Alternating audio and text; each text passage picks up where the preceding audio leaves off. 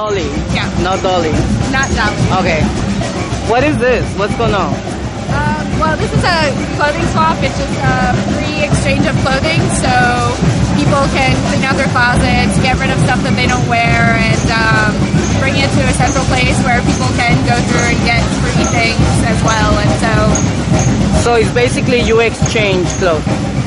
yeah, you don't you don't need to bring anything to get me to take something though. Like if I see something I like, I just go and get it Yeah.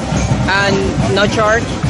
No, I mean if somebody else is trying it on or wants it as well, you may have to talk to them about it. But uh, everything is free. There's no money involved. And why are you doing this?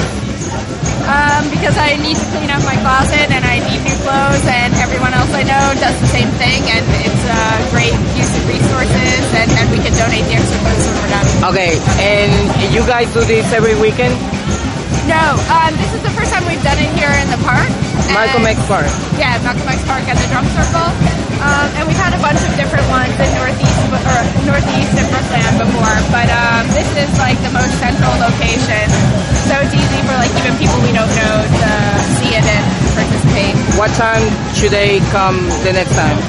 Um, this time we just said like 5:30 to 8, so um, I'm not sure what to do about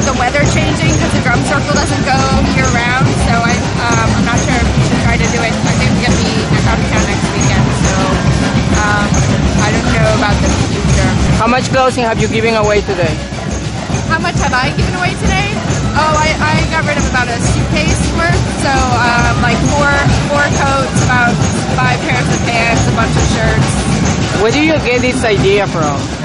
I've never heard anything like this. Um, I, have been doing it for a few years. Um, one of my coworkers at the building council three or four years ago had one, and um, so I've had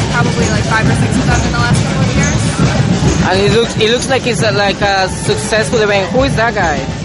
Um, he's uh, one of the performers that we didn't hire but appreciates Oh, so you also bring performance. No, he's independent.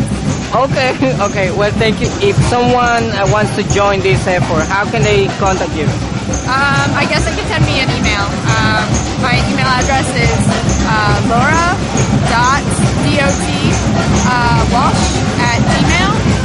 Okay, well, thank you so much, Lolly. Yes. Okay, and uh, I'll bring my clothes next time. Okay, great. Okay, thank you. Oh, actually, let me try something. Maybe.